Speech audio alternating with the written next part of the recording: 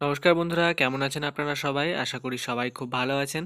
আজকে আবার একটি নতুন ভিডিওতে আপনাদেরকে অনেক অনেক স্বাগত জানাই। এই ভিডিওতে আপনাদেরকে বলব যে পিটুনিয়া গাছ ছোট থেকে দ্রুত কীভাবে ঝাঁকড়া করবেন এবং কীভাবে এই পিটুনিয়া গাছের মধ্যে প্রচুর পরিমাণে ফুল নিতে পারবেন।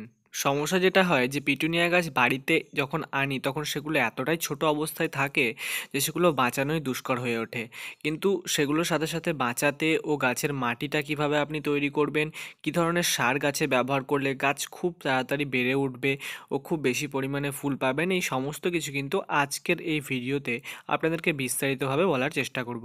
তাই ভিডিওটি একটু স্কিপ না করে অবশ্যই শেষ পর্যন্ত দেখবেন। আর এই চ্যানেলের মধ্যে যদি আপনি নতুন হয়ে থাকেন, তাহলে চ্যানেলটিকেও অবশ্যই সাবস্ক্রাইব করে নেবেন। চলুন আজকে ভিডিওটা আমরা শুরু করে নিই। পিটুনিয়া গাছে এই সিজনের মধ্যে প্রচুর পরিমাণে ফুল নিতে গেলে আপনাদের প্রথম যে কাজটি করতে হবে, সেটা হচ্ছে সঠিকভাবে এই গাছের মাটিটা তৈরি করতে হবে। এই গাছের মাটি তৈরি করার জন্য আপনাদেরকে নিতে হবে অর্ধেক গার্ডেন সয়েল গার্ডেন সয়েল মানে হচ্ছে যে কোনো ধরনের মাটি এবং অর্ধেক যে কোনো ভার্মি কম্পোস্ট শুধুমাত্র এই দুটো উপাদান দিয়ে মাটি তৈরি করলেও কিন্তু আপনার গাছ খুব ভালো গ্রো হবে। এবার বলি যে গাছগুলোকে কি ধরনের টবে লাগাবেন।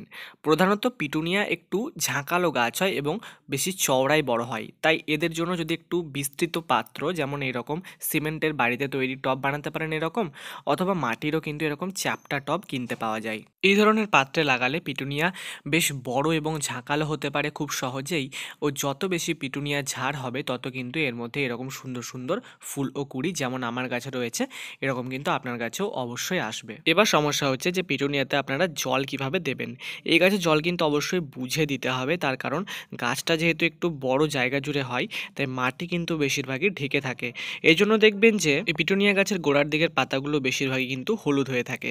তাই চেষ্টা করবেন এই গাছে খুব বুঝে জল দেওয়ার অথবা আপনারা মাটিটাতে হাত দিয়ে দেখবেন যে ভিজে ভিজে আছে কি না যদি ভিজে ভিজে থাকে বা কাদা মনে হয়, তাহলে কিন্তু জল দেবেন না। সব থেকে ভালো হয় যদি একদিনের গ্যাপে জল দেন তাহলে। পিটুনিয়া গাছে চেষ্টা করবেন যে একটু রোদের মধ্যে রাখার বা রোদের মধ্যে না রাখলেও কিন্তু এ গাছ ভালো গ্রো করে।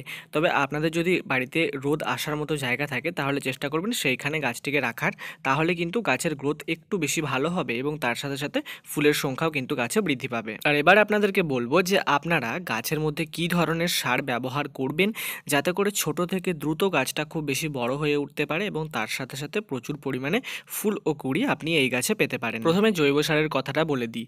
আপনারা কিন্তু এই গাছে জৈব সার হিসেবে খোল পচা জল ব্যবহার করতে পারেন।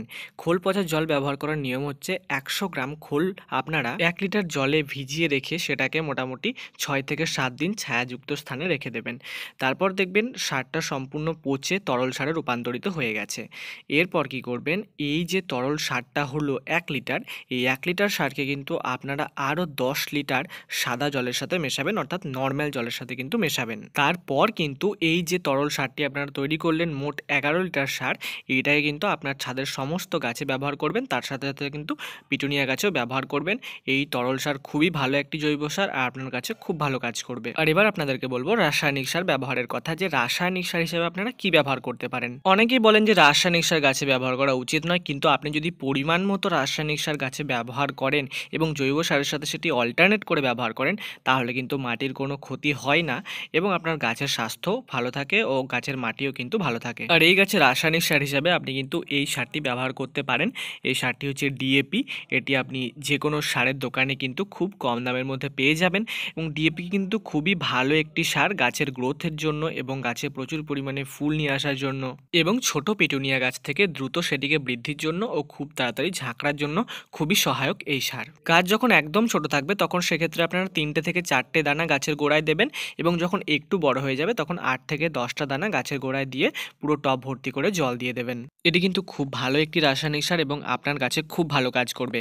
আমি নিজে আমার গাছে ব্যবহার করে কিন্তু খুব ভালো রেজাল্ট পেয়েছি, তাই আপনাদেরকে এটা রেকমেন্ড করছি। তাহলে বন্ধুরা, এই শীতকালের মধ্যে যদি আপনি আপনার পিটুনিয়া গাছকে দ্রুত বৃদ্ধি করে প্রচুর পরিমাণে ফুল পেতে চান, তাহলে অবশ্যই যে টিপসগুলো বললাম সেগুলো ফলো করবেন এবং তার সাথে সাথে যে রাসায়নিক ও জৈব সার দুটি ব্যবহার করতে বললাম, এই দুটোই কিন্তু আপনারা অল্টারনেট করে ব্যবহার করতে পারেন। তাহলে বন্ধুরা, আজকে ভিডিওটা কেমন লাগল আমায় কমেন্ট সেকশনে অবশ্যই জানান।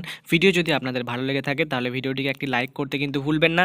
আর আপনি যদি চ্যানেলের মধ্যে নতুন এসে থাকেন, তাহলে চ্যানেলটিকেও অবশ্যই সাবস্ক্রাইব করে নেবেন। তাহলে আজকের মতো ভিডিওটা এখানেই শেষ করছি। দেখা হচ্ছে অন্য একটি গাছ সম্পর্কিত ভিডিও নিয়ে। সবাই খুব ভালো থাকুন আর নিজেদের গাছের যত্ন করুন।